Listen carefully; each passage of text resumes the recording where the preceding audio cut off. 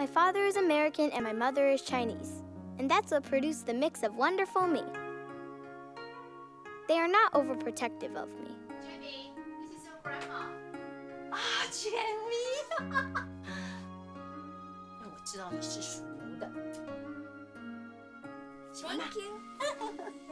Because we have not been to China, my grandma came to visit us this year. This is my dad, a film producer. My mom, an entrepreneur in the makeup business. She's also very busy. We are all proud of my American grandma, who's a screenplay writer. We respect the living habits of each other. It seems that I have a lot of freedom, and I think I'm used to being alone. I don't understand why my Chinese grandma washes clothes by hand every day and tries to hang the clothes outside. She doesn't know English, but she still insists on learning it. I do know Chinese, and she insists on teaching me more. Besides, she always makes good food for me.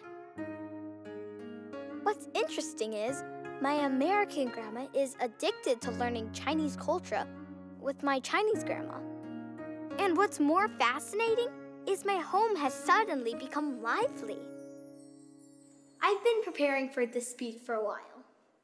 In the beginning, it was hard for me to write something about home because I'm always home alone. Home is where everyone did their own thing. Now, home is where everyone connects to each other. Today, my two grandmas, even both my mom and my dad, all sitting here in the auditorium. I'm really happy that I know what home is. Now, I would like to say the following sentences in Chinese to my grandma. 姥姥，谢谢你。